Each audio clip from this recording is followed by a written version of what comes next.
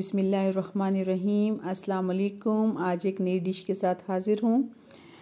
Dhaba style में दाल चना बनाने जा रही हूँ आज और उम्मीद रखती हूँ कि ये आपको बहुत ज़्यादा पसंद आएगी, क्योंकि ये आम तौर पर जो हमारे घरों में दाल बनती है, उससे इसका जायका बेहद मुख्तलिफ़ होगा और बेहद लजीज भी। तो चलिए शुरू करते हैं। मैंने आधा किलो दाल को पानी में तकरीबन 20 मिनट के लिए भिगो कर रखा था। ये देखें दाल फूल गई है। तो अब इस दाल को बॉईल कर लेंगे। जैसे ही पानी गर्म होगा तो इसमें हाफ़ टी स्पून हल्दी का ऐड कर देंगे। उसकी वजह यह है कि दाल चना थोड़ी बादी होती है तो हल्दी के पानी में बॉईल करने से ये होता है कि इसकी बात जो है वो ख़त्म हो जाती है। जब तक दाल बॉईल होती है, मैं आपको बता दूँ, इसके लिए चाहिए तीन अदर टमाटर, लहसुन, अदरक और तीन सब्ज़ मिर्चें। सबसे पहले साबित धनिया, एक चम्मच। साबित काली मिर्च, एक चम्मच। और साबित ज़ीरा, इन तीनों चीज़ों को हल्का हल्का हम कूट लेंगे। बिल्कुल बारीक पाउडर नहीं बनाना। बस ऐसे खड़ा खड़ा दादरा दादरा रखना है इसको।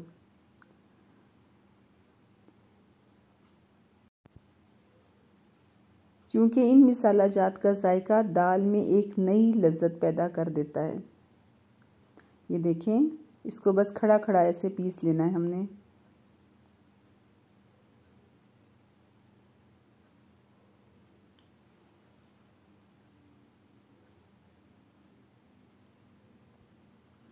ये तकरीबन तैयार है। देखें, ये किस तरह से क्रश हो गया है। तीनों चीज़ें यकजान हो गई हैं। अब हमारा मिसाला तैयार है। तो सबसे पहले हमने कढ़ाई में तकरीबन मैंने डेढ़ कप घी डाला है और इसमें दो प्याज बारीक चॉप करके ऑमलेट स्टाइल में ऐड कर दिए ताकि प्याज जो है वो अच्छे से गल जाए। बस इसको फ्राई करते जाना है जब तक कि प्याज अपना कलर चेंज ना कर ले।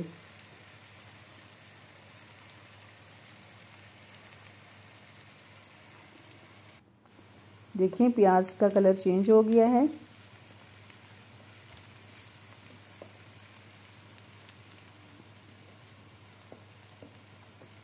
थोड़ी देर तक हम इसको फ्राई करेंगे, तकरीबन तीन चार मिनट तक, ताकि इसका कच्चापन ख़त्म हो जाए। और फिर हमने लहसुन, अदरक और सब्ज़ मिर्चों को इकट्ठे चॉप करके रखा था तो ये हम इसमें ऐड कर देंगे।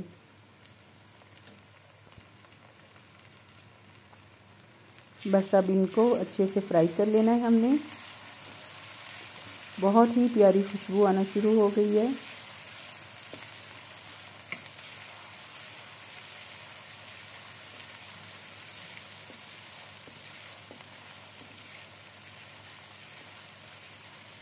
लहसुन और अदरक का कलर चेंज हो जाएगा तो साथ ही इसकी मिसाले की खुशबू भी चेंज हो जाएगी। देखिए मिसाले का कलर चेंज हो गया। अब हम इसमें एक छोटी स्टिक दालचीनी की और एक साबित बड़ी इलायची, इसको हम डाल देंगे। दाल चना में इन दोनों मिसाला जात का इस्तेमाल दाल चना की लज्जत को दोबाला कर देता है। बस इसको थोड़ी देर तक हमने फ्राई करना है। और मैंने जो तीन अदर टमाटर थे, उनको बारीक चॉप कर लिया है और अब हम इसमें ऐड कर देंगे।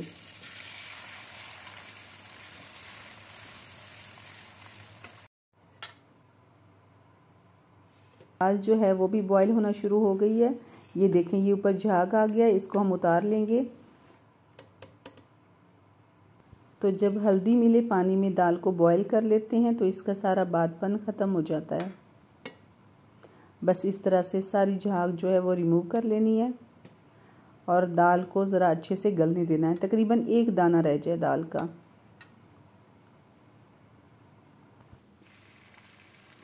इधर हम मिसाला तैयार कर लेते हैं। टमाटर को अच्छे से फ्राई कर लेते हैं। बस एक दो मिनट तक और अब इस, इसमें चला जाएगा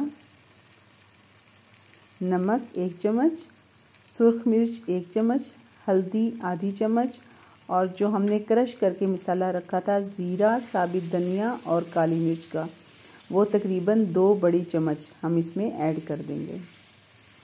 बस इसको हल्के हाथ से फ्राई करना है। थोड़ी देर तक फ्राई करते रहेंगे ताकि खुशबू जो है इसकी आने लग जाए। ये देखिए, तकरीबन मसाला जो है वो तैयार हो चुका है। प्याज गल चुका है। बस टमाटर के गलने की देर है।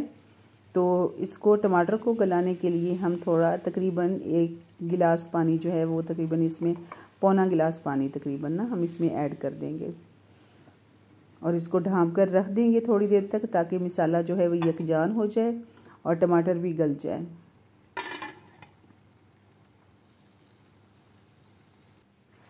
मैंने वक्फे वक्फे से पानी का छींटा दे के इसको चम्मच को चलाती रही हूँ। तो ये देखिए मसाला कितना अच्छे से मिक्स हो चुका है। तो बस इसको इतनी देर तक हमने भूनना है मिसाले को, जब तक कि घी नहीं निकल आता। देखिए दाल तकरीबन गल चुकी है।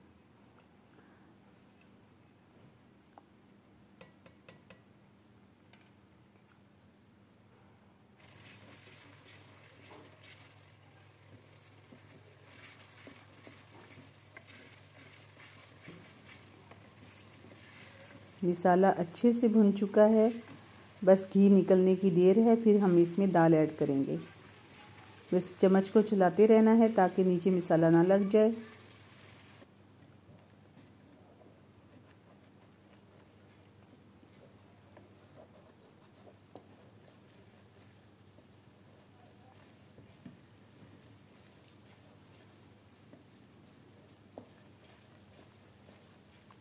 जितना अच्छा मिसाला भुना होगा, उतनी ही दाल लजीज बनेगी।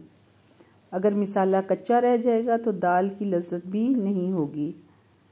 तो मिसाले को हमने बहुत ही अच्छे से भूनना है।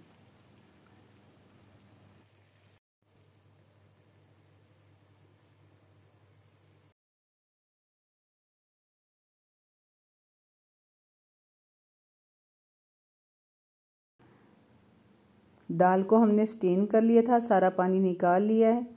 तो अब हम मिसाले में दाल को ऐड कर देंगे।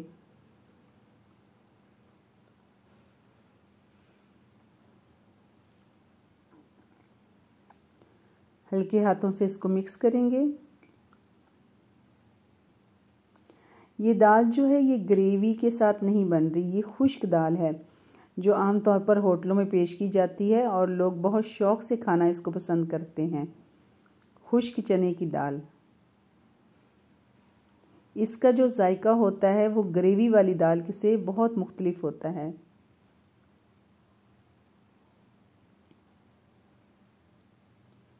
बस इसको हमने अच्छे से मिक्स कर लिया।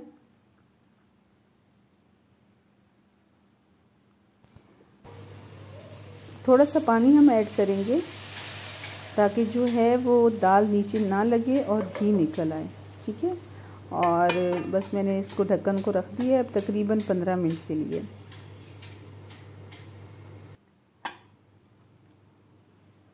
ये देखिए, आहिस्ता आहिस्ता घी निकलना शुरू हो गया। अब इसमें हम बाकी इंग्रेडिएंट्स डालेंगे। कसूरी मेथी मौजूद है मेरे पास एक चम्मच। इसको ऐड कर दूँगी। और हाफ़ टी स्पून गरम मसाला ये ऐड कर दूँगी। बस इसको हल्के हाथों से मिक्स कर लेना है। दाल तकरीबन तैयार है।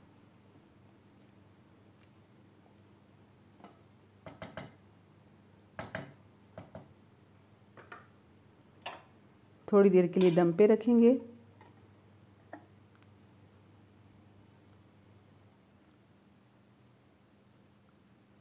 पानी खुश्क हो चुका है, ये देखिए।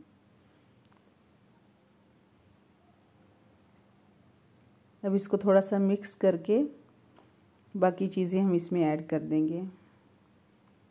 देखिए, बिल्कुल पानी खुश्क हो गया और घी निकल आया है। अब सब्ज़ धनिया हमारे पास, वो मैं ऐड कर दूँगी, इसमें डाल दूँगी। मैंने अदरक को काट के रखा हुआ स्लाइस में, ये ऐड कर दूँगी। और सब्ज़ मिर्च भी है मेरे पास, मैंने काट के रखी थी। तो इसको भी हम ऊपर गार्निश कर देंगे। जी तो ये दाल बिल्कुल तैयार है। उम्मीद है आज की डिश आपको बहुत ज़्यादा पसंद आई होगी। वीडियो को लाइक करें और सब्सक्राइब का बटन प्रेस कर दें और इस दाल को ज़रूर पका कर देखिएगा। उम्मीद है इन आपको ये दाल बेहद पसंद आएगी। मिलते रहिए कुकिंग क्रेज विद समीना के साथ। अल्लाह हाफिज़।